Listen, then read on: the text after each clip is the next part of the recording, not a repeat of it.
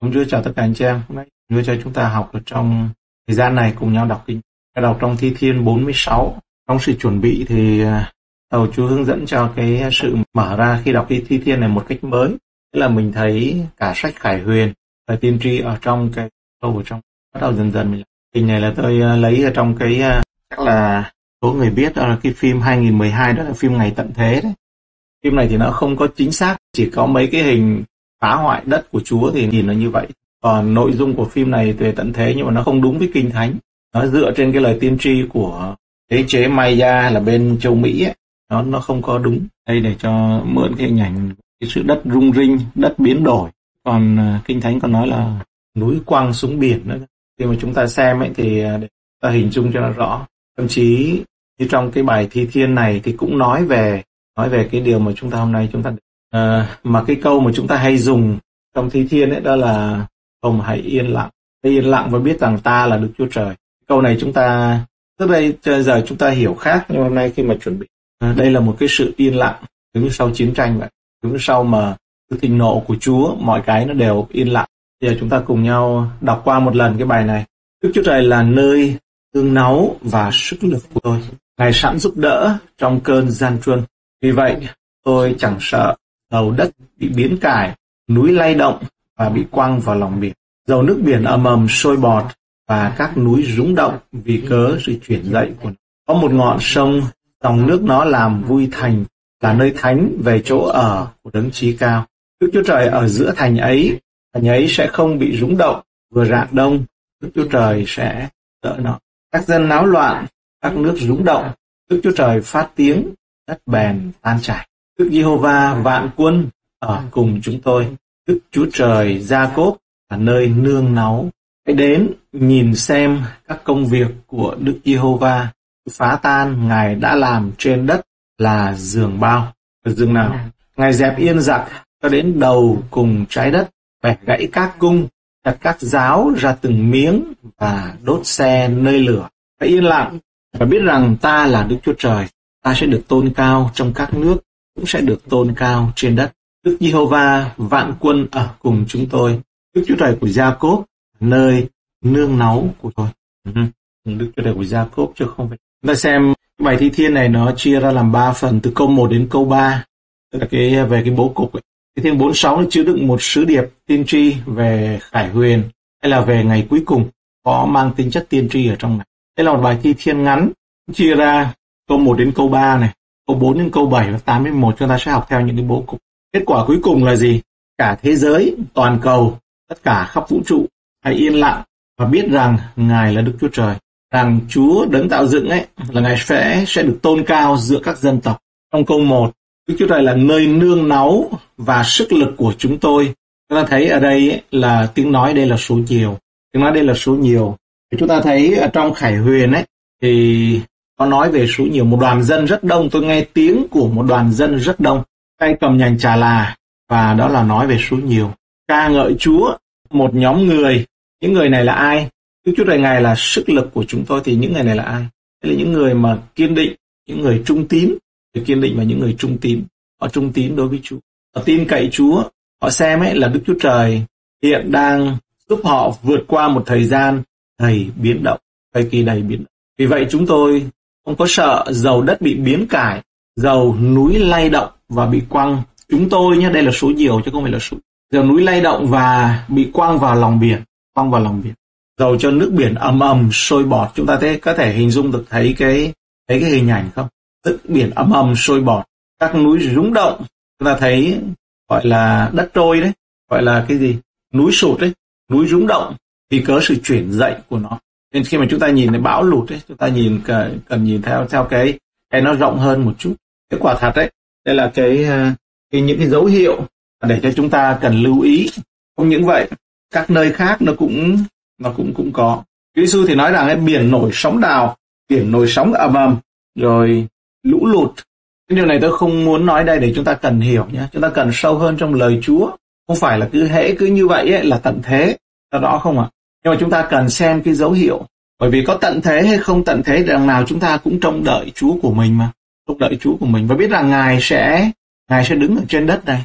Đó là cái, cái cách suy nghĩ mà chúng ta cần có nha.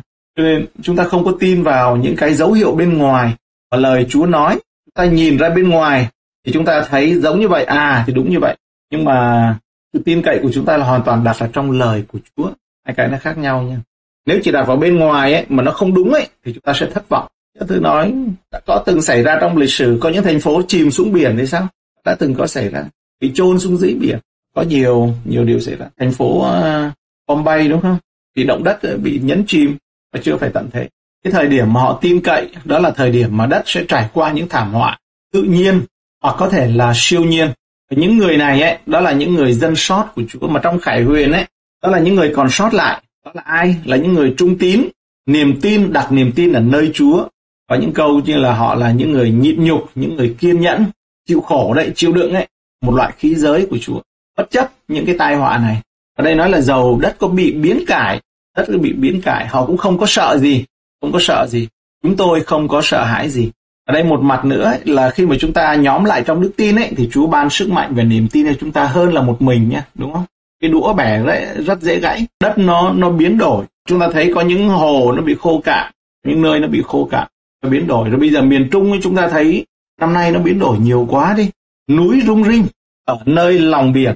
Đây ấy, là núi lay động và bị quăng vào lòng biển. Núi rung rinh bị quăng vào lòng. Tức là núi núi sụt ấy. Những cái nơi như Indo hay là Philippines núi sụt thì nó nó thường hay xảy ra. Nhưng mà cái cái cái trạng thái núi sụt ở miền Trung Việt Nam ấy là hiếm. Trước đây thì thì thường thấy ở những cái nơi mà là đảo mà gọi lại đảo lớn ấy, thì hay có núi đất trôi đấy và chúng ta thấy đó là những cái mà kinh thánh cũng có nói về cái này ha. À, một trong những cái dấu hiệu chúng ta cần phải lưu ý cần à, chúng ta hãy cần lưu ý nó có nhiều yếu tố lắm để nói về ngày tận thế nói về ngày tận thế. Ở đây mình cũng có thể thấy được những cái dấu hiệu của thiên thạch. Chúa Giêsu thì nói nhiều hơn đấy đó là các thiên thạch. Và chúng ta hãy lưu ý anh chị em nhé đừng có để những lời tiên tri bên ngoài nó làm cho mình tin nhé. Kinh thánh nói rõ rồi những con cái Chúa những tôi tớ của Chúa họ cũng nói rõ. Phân tích và những nghiên cứu họ nói rất dễ trong những năm tới à trong năm tới đây ấy rất dễ có thể có thiên thạch. Mà thiên thạch thì nó rớt xuống biển một cái là thành ngập cả thành phố luôn. Đúng không ạ? Cái thiên thạch nó rơi xuống ấy, thì nó làm cho nước biển nó trào lên trong đất liền. Cái thiên thạch còn nếu mà nó rơi đúng thành phố thì là thảm họa. Người ta phân tích nói rằng Florida ấy mà thiên thạch nó rơi xuống đấy tại vì người ta dự tính là có thể lắm là nó rơi xuống đó. Mà nếu mà rơi xuống đó thì là Florida là sẽ chìm dưới biển. Có một số người họ đã rời rồi đấy những người họ nghiên cứu nha chứ không phải là họ sợ. Tôi uh, có theo dõi thì họ nói rằng tôi chúng tôi sau khi nghiên cứu được thông tin từ NASA thì chúng tôi phải quyết định rời đi. Nó không đúng thì cũng không có lý do gì để cười. Nhưng mà nếu mà đó đúng thì là một cái sự chuẩn bị. Ở đây tôi nói mình chúng ta tập nghe cái này cho nó quen để mà đừng có bị giật gân đấy ừ, bởi vì lời Chúa nói như vậy và chúng ta học cái ờ, sự bình an ở trong Chúa trong Chúa thật. Và cầu xin Đức Thánh Linh ngài giúp đỡ cho để chúng ta thì nghe những cái điều này ấy, có phải là nó nhẹ hơn với với bên ngoài mà chúng ta đang thấy không? Tôi hỏi thật anh chị em là những điều mà chúng ta nghe đây ấy, nó có giật gân hơn là những cái biến động bên ngoài chúng ta đang thấy không? Tôi nghĩ là chưa bằng. Mà nếu mà chưa bằng ấy thì hãy nhớ một điều như thế này. Ở trong Kinh Thánh ấy, ta đọc ở trong Kinh Thánh không có thấy cứu ước cả tân ước ấy, không thấy là là giấu dân sự Chúa những cái những cái sự bên ngoài xảy ra, cái sự bên ngoài xảy ra. Tức là dân sự Chúa cần phải mở mắt ra để nhìn ra bên ngoài. Chứ không phải là khi chúng ta đọc lời Chúa rồi chúng ta giống như đà điểu chúi đầu xuống cát khi nhìn thấy nghịch cảnh nhé. Quên hết mọi sự đi. Làm cho đầu nó trống rỗng đi. Rồi để cho Chúa đổ đầy. Chúa không làm cách đó. Chúng ta cần tập nhờ lời của Chúa để mà thầy trong lòng của mình. Mà mở mắt ra nhìn xung quanh. Đấy, đó, đó là cái chúng ta cầu xin Chúa. Rồi chúng ta đọc trong lời Chúa. Đọc trong lời Kinh Thánh và từ đó chúng ta nhận được sức mạnh nhận được sự để cho thời kỳ này cần phải ăn đồ dinh dưỡng cao anh chị em nhé đồ dinh dưỡng cao mới leo núi được đó là núi của đức chúa trời. Mới có thể đi qua sa mạc được đó là bánh từ thiên đàng đấy như của Eli ăn đấy mới sống được. Mới vượt qua sự sợ hãi. Ở đây này câu này nói là dầu vậy chúng tôi chẳng sợ dầu đất bị biến cải. Những người này ấy là những người họ, họ can trường rồi đấy. Những người này họ can trường đó là gọi là dân sót lại của chủ còn những người khác thì sao? Bay hết Họ bay đi đâu? Bay vào trong hội thánh của con dâm phụ. Bay vào trong hội thánh của con dâm phụ. Ở trong những cái cũng gọi là hội thánh, gọi là tin Chúa. Bay vào đó. Đấy là tôi nói trong Khải Huyền nhé. Đó là người đàn bà ngồi trên lưng con thú say huyết các thánh đồ. trên trán có một cái danh đó là sự mầu nhiệm của Babylon thì phần còn sót lại đó cái đây là họ còn còn sót thấy dầu nước biển âm ầm sôi bọt các núi rúng động vì cớ sự chuyển dậy của nó nhưng mà tác giả thì cái câu đầu là gì? Bắt đầu không có tiêu cực, bắt đầu nói rằng, đức chúa trời là nơi nương náu và ngài là nơi sức lực của chúng con. Ngài là nơi nương náu và là nơi sức lực của chúng bắt đầu trong cái sự mà rất là tin cậy chúa, rất là tích cực, rất là khẳng định sự ờ, tin cậy nơi đức chúa trời. Nên chắc là mình học là lướt qua thôi. Tức là học học về cái nội dung về ý nghĩa tiên tri.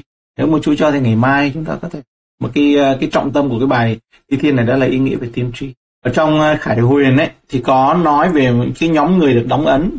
Khải huyền chương 7 thì có nói, nhóm người được đóng ấn. Chương 7 câu ờ, câu 1 đến câu 8 khải huyền chương 7 câu 1 chúng ta chỉ xem một số câu thôi. Khải huyền, chỉ xem một số câu thôi.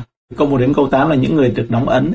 Tôi lại thấy một vị thiên sứ khác từ phía mặt trời mọc mà lên cầm ấn của Đức Chúa Trời hàng sống người cả tiếng kêu bốn vị thiên sứ đã được quyền làm hại trên đất và biển và bảo rằng chớ làm hại đất, biển và cây cối cho đến chừng nào chúng ta đã đóng ấn trên trán những tôi tớ của Đức Chúa Trời chúng ta.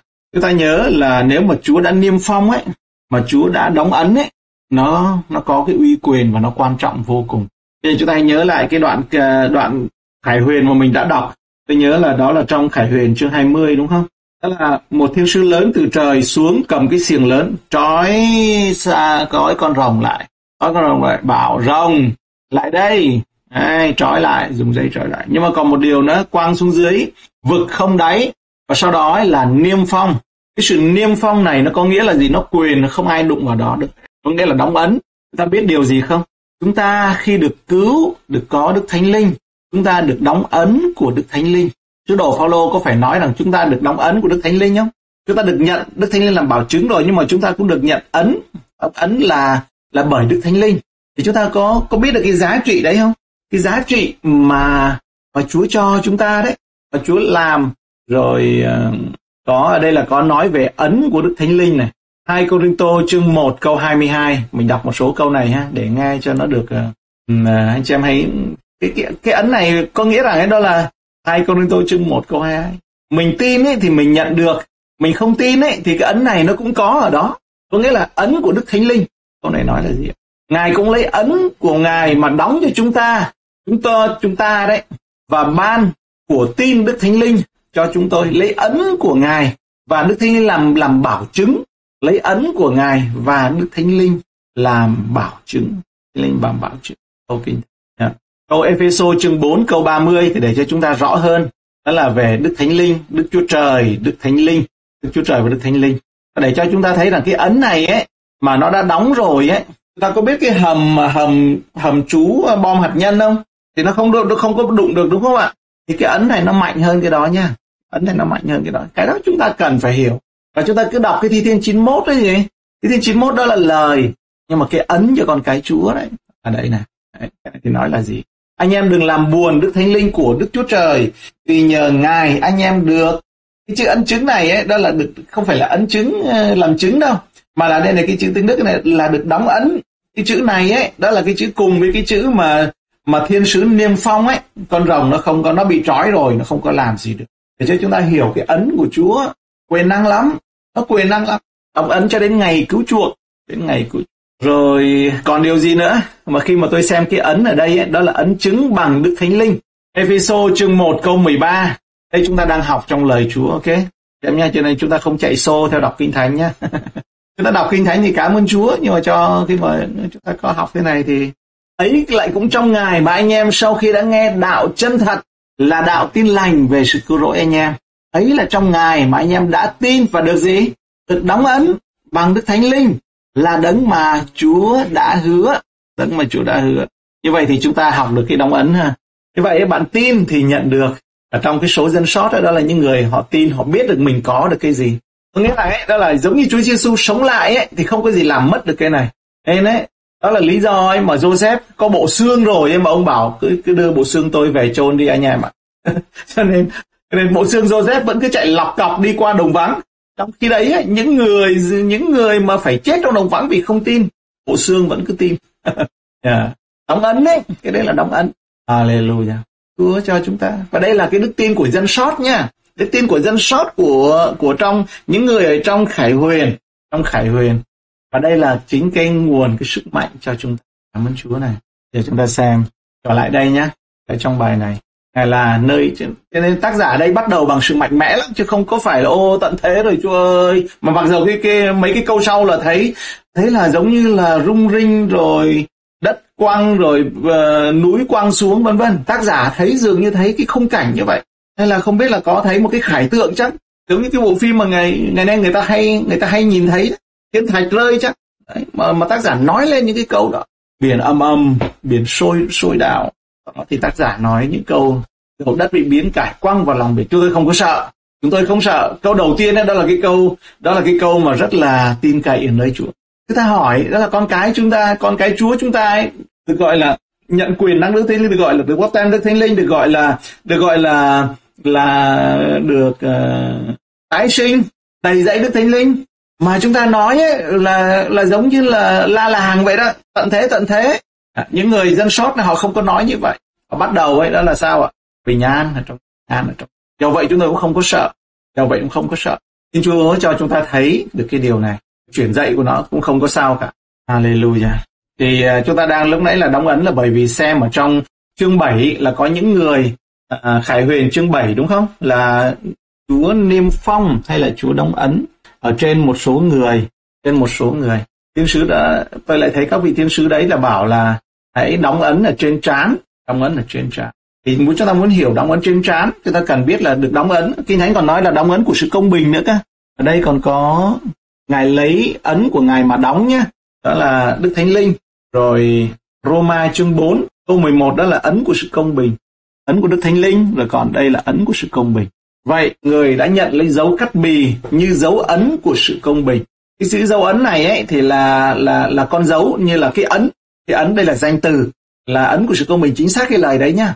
Cái dấu cắt bì đó là giống như là đóng mọc ấy, đóng ấn của sự của sự công bình của đức tin. Của sự công bình mà người đã được bởi đức tin khi chưa chịu cắt bì. Đấy đó.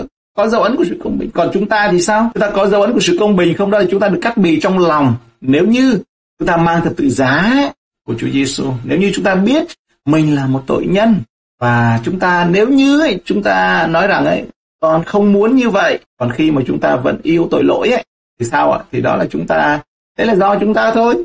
Cái Chúa cho rồi không nhận ấy thì thì đó là lỗi của mình chứ Chúa không có làm nha. Có nghĩa là sao? Cái sự đóng ấn này là Chúa ban cho Chúa làm. Và đức tin này thì chúng ta nhận được chúng ta nhận được. Còn khi mà chúng ta đến với Chúa mà vẫn còn yêu tội lỗi vẫn còn thấy thích thấy khoái thấy sướng sao ạ? Chịu thôi đúng không ạ? Đây cái, tại vì Chúa đến ngài chỉ làm cho chúng ta lên thập tự giá. Điều đó có nghĩa rằng đó là cái ấn của sự công bình này. Chúa muốn dành cho của những người mà chúng ta được cắt bì ở trong lòng. Có nghĩa là sao? Cắt bì trong lòng ấy, là nhận biết con cần ngài. Chúa ơi con không muốn như vậy. Mỗi lần nó nó xảy ra ấy, nghịch cảnh xảy ra ấy để cho hoàn cảnh xảy ra để cho biết là mình gì? À, mình không trọn vẹn. Mình chẳng vàng son cái gì cả. Lửa thử vàng mà. Thì mới thấy mình bẩn đấy thì mới đốt đi để cho nó cháy đi. Thì đó mới là gọi là hoạn nạn đúng nghĩa còn không ấy còn hoạn nạn không đúng nghĩa là cuối cùng là chỉ có tai nạn thôi. Thì cuối cùng là kết cục là thành là khốn nạn thôi. Chúng ta thấy cuộc đời của nhiều người cuối cùng là thành khốn nạn.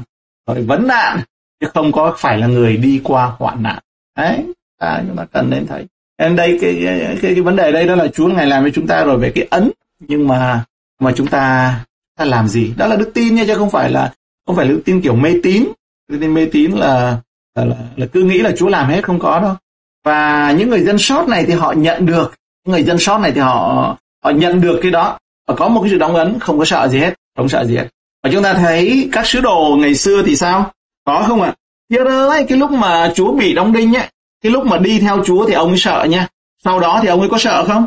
Sau đó ông không hề sợ. Sau đó ông bị tù. 16 tên lính đứng canh ông ấy hoặc là canh gác thay phiên nhau canh gác ông thế nào đó. Peter không sợ. Peter vẫn cứ ngủ khò vẫn cứ ngủ ngáy. Ừ, ở giữa đó. Vẫn là bình an không có sợ. Bởi vì sao? Bởi vì được đóng ấn bởi đức thánh linh. Và để làm gì cái ấn này ấy là để đánh dấu. Đó là đánh dấu đấy. Đó là những người này là thuộc về thuộc về đức chúa trời. Thuộc về đức chúa trời. Chúng ta nghĩ rằng ồ không biết là cái dấu cái ấn gì ở trong khải huyền. Mình được cái, cái thấy cũng sướng ha. Bây giờ đơn giản đấy câu hỏi đó là mình đã đã cảm nhận được cái ấn cái sự niêm phong mà Tân ước nói cho chúng ta những câu kinh thánh chúng ta vừa đọc chưa? Cái niêm phong của sự công bình đó là cắt bì trong lòng. Mình có giờ có thấy cái vết cong cắt bì là phải có dấu nhá. Bì trong lòng là phải có dấu. Đó, cái hình ảnh này ra một chút là cái lòng này ấy. Nó có cổng cộ mà nó có dấu không? Hay là cái đụng đến mình một cái là thấy gai gốc nó nổi lên rồi. Cái dấu cắt bì mình có không? Cái cái ấn. Đức Thánh Linh. Đức Thánh Linh của chúng ta. Anh em đừng làm buồn Đức Thánh Linh bởi vì nhờ Ngài mà ấn chứng. Có nghĩa là sao? Đức Thánh Linh ấn chứng cho chúng ta. Cảm ơn Chúa. Tôi đi tiếp trong có thể dừng lại. Sẽ rất là nhiều mà đây là giống như những cái điểm thôi. quyền chương 14 cũng nói rằng ấy là chiên con bảo vệ dân sự của Chúa khỏi những thảm họa. Và lúc này ấy, đó là ở trong mấy cái câu này chúng ta thấy là thảm họa thiên nhiên ấy là nó nó không có quyền đến trên và cũng không có sợ nữa. Những người này họ bắt đầu bằng một thái độ không sợ hãi, không sợ hãi. Và cái đó là cái mà chúng ta lưu ý nha, chúng ta nhớ đừng có quên là không sợ hãi. Bởi vì chính cái sự sợ hãi ấy, thì nó nó sẽ rất là dở. Câu 4 là gì? Có một ngọn sông, dòng sông nó làm cho vui thành Đức Chúa Trời từ câu 4 đến câu 7 là cái đoạn tiếp theo. Về nơi là nơi thánh về chỗ ở của đấng trí cao. Đức Chúa Trời ở giữa thành ấy, thành ấy sẽ không bị rúng động. Vừa rạng đông, Đức Chúa Trời sẽ giúp đỡ nó. Các dân náo loạn, các nước rúng động. Đức Chúa Trời phát tiếng, đất bèn tan chảy. Các dân náo loạn. Khi mà ở trong thành của Đức Chúa Trời, chúng ta nói rằng ô ngày nay nó xảy ra như vậy thì không biết là Chúa sẽ giữ chúng ta như thế nào. Nhưng mà chúng ta đọc lời Chúa đây, trước hết đó là xin Chúa Ngài cho cho chúng ta thấy được cái à, sự bảo vệ của Chúa. Đức Yêu Ba vạn quân ở cùng chúng tôi, Đức Chúa Trời Gia Cốp là nơi nương náu của chúng tôi. Chúng ta thấy đây là lặp lại nữa đúng không? Lặp lại này là một cái sự rất là vững vàng. Chúng ta hãy xem cái phim tận thế thì mình xem trong sự hồi hộp nha. Trong sự mà mắt muốn lòi rơi ra ngoài bởi vì hãi hùng quá đi. À, còn có người nghe bảo nghe nói thì sợ quá, kinh hoàng quá. À, cái điều quan trọng đó là chúng ta cần phải đến với Chúa, Ngài giúp đỡ. À, bởi vì lời Kinh Thánh nói rằng là người công bình, dũng mãnh như sư tử. Đó là được đóng ấn ấy. Dũng mãnh như sư tử, không sợ gì hết. Người công bình sẽ dũng mãnh như sư tử. Đó là một dấu hiệu của sự mà chúng ta bước đi với Chúa. Chứ không phải là đức tin sợ nha. Tại vì ấy, Chúa nói là hãy tin thì không có sợ. Đừng sợ, chỉ tin mà thôi. Chúa bảo là đừng sợ, chỉ tin mà thôi. Trong à, tôi có ghi, lát nữa thì sẽ đến cái câu đấy. À, trong sách Mark chương 5 câu 36 rồi. Đừng sợ, chỉ tin mà thôi. Như vậy điều này có nghĩa rằng ấy là khi mà chúng ta đến cầu nguyện với Chúa, chúng ta cần phải gạt cái sự sợ hãi ra. Và làm sao gạt được? Nhờ cậy. Ở đây cái thành thành này ấy, ở đây có nói về cái thành đúng không? Ở đây nó có nói về cái thành có một uh, ngọn sông dòng nước làm vui thành Đức Chúa Trời về chỗ ở của đấng trí cao. Đó là nơi Chúa ngự và cũng uh, cũng nói lên rằng ấy là Đức Chúa Trời ở trong thành phố này. Ở tây tại nơi đó thì có một dòng sông. Chúng ta biết cái thành phố này ấy là thành phố mà Abraham đã đã mong chờ. Chúng ta biết đây là thành Jerusalem, nhưng mà không phải Jerusalem bây giờ, bởi vì Jerusalem bây giờ không có con sông nào cả, không có con sông nào cả. Nhưng mà trong Khải Huyền cho thấy rằng ấy, có thành Jerusalem từ trên trời, có con sông ra từ đền thờ của Đức Chúa Trời và từ ngôi trên con. Thành phố được nói đến là giống như là một người nữ vậy. Các quốc gia khác thì sao giận dữ, chống lại Đức Chúa Trời, mà còn ở đây ấy, thì được bình an. Đức Chúa Trời phát tiếng ra ấy, thì mọi cái có náo loạn đi chăng nữa nhưng mà đất bèn tan chảy. Các dân náo loạn, các nước rúng động, rúng rinh. Nhưng mà Chúa khi mà Ngài phát tiếng, các dân tộc quốc gia thì giận dữ chống lại Đức Chúa Trời. Nhưng mà còn trong khi đó thì sao? Những dân sót, những người trung tín với Chúa được đánh dấu ấy, được niêm phong ấy, thì sao ạ? Niêm phong không có vượt qua được. Những cái sự hại nó không có vượt qua. Cái đó cái chúng ta cần biết nha. Cái sự niêm phong mà được niêm phong từ nơi Chúa kỳ diệu lắm. Tôi nhắc lại, chúng ta có được Chúa niêm phong không? Có được Chúa đóng ấn không? Vì thế cho nên Đức Thánh Linh thật, tin lành thật, Chúa Giêsu thật. Và tôi đề nghị anh chị em hãy mở kinh thánh của mình ra mà đọc. Và đừng có chỉ nghe lời tôi nói. Ok? Mỗi người chúng ta. Tại vì qua đấy thì Chúa mới niêm phong thật. Chính Chúa Giêsu ấy mới tháp mình vào trong gốc là đó là với Ngài thôi. Để cho chúng ta đừng có làm tầm gửi, gọi là qua trung gian. Ở trong Đức Chúa Trời là Ngài chỉ có con chứ không có cháu cần đi tiếp. Điều này nó ứng nghiệm đó là Jerusalem mới là cô dâu của đấng Messi, cô dâu của đấng Christ. Ông Khải Khải Huyền chương 21 câu 2 thì sao? Khải Huyền chương 21 câu 2 đấy là nói về thành phố. Tôi cũng thấy thành thánh là Jerusalem mới từ trên trời ở nơi Đức Chúa Trời mà xuống sửa soạn sẵn như một người vợ mới cưới trang sức cho chồng mình. Và có một dòng sông chảy ra từ nơi thành Jerusalem mới đó và đó là nguồn gốc cho sự sống, cho niềm vui đấy. Và Đức Chúa Trời ngự ở tại trong thành phố đó. Có dòng nước sống, đây có thể giống như là vườn Eden ban đầu không ạ? trong như lưu ly từ ngôi Đức Chúa Trời và chiên con chảy ra. Giữa thành phố trên hai bờ sông có cây sự sống. Tại huyền chương 20, 22, câu 2, câu 3. Nói rằng ở đó sẽ có sự sống. Rồi à, những à, người còn sót lại. Vậy thì nàng dâu của đấng Messi ấy, thì đó là ai? Chúng ta cùng nhau xem ở đây nha. Tại vì nếu mà chúng ta chúng ta không có nhìn các câu kinh thánh khác ấy, chúng ta sẽ ngẫm rằng ồ thành Jerusalem đó là đó là cô dâu của đức Christ, thành phố Jerusalem mới trên trời xuống ấy. Hình ảnh và biểu tượng của sự hôn nhân hay là của sự kết ước được áp dụng của Chúa Giêsu Christ và các thánh đồ là hội thánh của Chúa. Hội thánh là thân thể của Chúa Giêsu. Kinh Thánh nói như vậy, được gọi là hội thánh. Hội thánh bao gồm ấy những người đã tin cậy ở nơi Chúa Giêsu Christ, đấng cứu rỗi của họ và nhận được sự sống đời đời. Đấng Christ hay là chàng rể đã hy sinh để mà chuộc hội thánh, để lấy huyết Ngài rửa hội thánh của Ngài. Epheso ấy, ở chương 5 câu 25 đến câu 27, như Đấng Christ yêu hội thánh, phó chính mình vì hội thánh, chồng cũng phải yêu vợ như vậy. Để cho hội thánh được nên thánh sau khi lấy nước rửa và dùng đạo làm cho hội được tinh sạch, để tỏ ra hội thánh đầy vinh hiển, không vết, không nhăn, không chi giống như vậy nhưng thánh sạch không trộn đã cách được ở trước mặt ngài. Thế là nếu mà chơi giải thích ở đây nó sẽ dài. Nên uh, chúng ta sẽ dừng ở đây bằng cách là đọc một câu kinh thánh ở đây nữa sau đây chúng ta sẽ cầu nguyện. Và là trong bài học ngày hôm nay. Đây là cô dâu nhé lễ cưới của chiên con đây này. Chúng ta hãy hớn hở vui mừng tôn vinh ngài vì tiệc cưới của chiên con đã tới. Vợ ngài hay là nàng dâu ấy đã sửa soạn đã cho người được mặc áo sáng láng tinh sạch bằng vải gai mịn. Vải gai mịn tức là những công việc công bình của đồ Thiên sư phán cùng tôi rằng hãy chép ước thay cho những kẻ được mời đến dự tiệc cưới trên con. Người lại tiếp rằng đó là những lời chân thật của. Như vậy thì tôi nhắc lại trong bài học hôm nay chúng ta học được điều gì ạ? Dẫu có núi rời, dẫu có đồi chuyển, nhưng mà không có thay đổi được tình yêu, sự nhân từ của Chúa. Lời kinh thánh cũng nói ta dùng danh nhân từ xích yêu thương mà đến với chúng ta. Đức Chúa Trời đấy, mà Ngài gọi chúng ta đấy. Ngài đã yêu ấy, thì Ngài yêu cho đến cùng, có nghĩa là như vậy. Điều tiếp theo nữa là khi chúng ta được đóng ấn, chúng ta dâng lời cảm ơn Chúa vì cái ấn mà Ngài niêm phong và hãy thưa lên với Chúa rằng, ồ, con dường như chưa hiểu cái điều này, nhưng mở mắt để cho con hiểu. Đó là lời cầu nguyện của sứ đồ Phaolô xin Ngài soi sáng con mắt của lòng của anh em vâng. để cho biết được niềm hy vọng về sự kêu gọi của Ngài, về quyền phép của sự vinh hiển lớn lao tối cao của Chúa đối với chúng ta có lòng tin trong Ngài là lớn dường nào. Nghĩa là Chúa là không nhỏ ta cầu nguyện là giống như là phải la to chứ Chúa mới làm. Không, Chúa không có nhỏ. Quyền năng của Chúa rất là kỳ lạ. Chúng ta đã biết rằng phép lạ mà Chúa đã ngài lại đã làm ấy. Ý muốn của ngài, chúng ta xin ý muốn của Chúa quan trọng hơn bất kỳ mọi cái điều nào. À, làm trên cả những sự mà khiếm khuyết của chúng ta nữa. Đấy là chính ngài. Cảm ơn Chúa đấy. Nên xin ngài soi sáng cho chúng ta nhận biết được. Và chúng con, ai chưa được niêm phong, ai chưa được đóng ấn, thì xin Chúa ngài cho chúng con được nhận cái đóng và có sự sống xứng đáng với dấu hiệu của sự đợt động ấn bên trong đó. Và để lộ ra bên ngoài đó là đừng sợ. Rồi mọi xung quanh biến cải thay đổi không sợ hãi. Có ngài có thiên đàng đúng không? Và chúa ngài ban sự đề kháng mạnh hơn covid mạnh hơn vaccine mạnh hơn mọi sự dịch lệ mạnh hơn bất kỳ mọi cái gì mà người ta dùng ngày nay ấy, người ta hay cái dùng để hù dọa. Đó là tận thế tận thế. Chỗ này chỗ kia hoặc là thậm chí chúng ta khi mà nghe những thông tin đó chúng ta tập làm quen Đức Chúa Trời là nơi nương náu và là sức lực của chúng tôi. Ngài sẵn giúp đỡ trong cơn gian truân.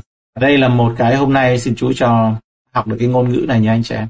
đã bỏ đi cái ngôn ngữ của sự ca thán, hoảng loạn. Ra đó là hèn nhát ấy. Coi mình là quan trọng, mình là trung tâm của vũ trụ.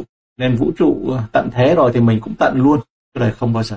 Đức Chúa Trời là nương náu và là nơi sức lực của Ngài sẵn giúp đỡ chúng trong nơi gian Hãy cầu xin Chúa cho con được rõ cái ấn của sự công bình bởi đức tin, ấn của Đức Thánh Linh được cắt bì trong lòng à, và hãy chậm chậm, chậm chậm và hãy kiểm tra trong đời sống xem cái ấn đó nó có hay không. Rờ xem nó có dấu cụm cộm hay không. Rờ xem hay kiểm tra xem có đi dẹo giống như Gia Cốp hay không. Đức Chúa này của Gia Cốp, Gia Cốp đi dẹo là có dấu ấy. Rờ xem có cái dấu mà chúng ta vác thập tự giá hay không. Này bạn ơn, chúng ta có thể nói được câu này. Hallelujah. Tôi cũng muốn nhắc thêm, trong khi mà tôi chia sẻ có thể nói những lời mà có thể là nó có thể ngược với những điều mà như chúng ta học. Nhưng mà đừng quên ấy nó giống như là cái mày dao vậy. Mày dao thì nó cần cho sắc cho nên cho em ấy lúc mà nghe lời Chúa thì hãy lưu ý cái điều đó. Lưu ý. Hallelujah. Để cho chúng ta không bao giờ mà nó ngược với cái điều mà chúng ta đã đã học đâu. Công bố ấy, công bố tiếp tục. Nhưng mà cái nội dung ấy cái chất lượng nó cần nhiều hơn nữa. Cảm ơn ngài. Hallelujah. Mời một ai đấy chúng ta cầu nguyện. Ai được cảm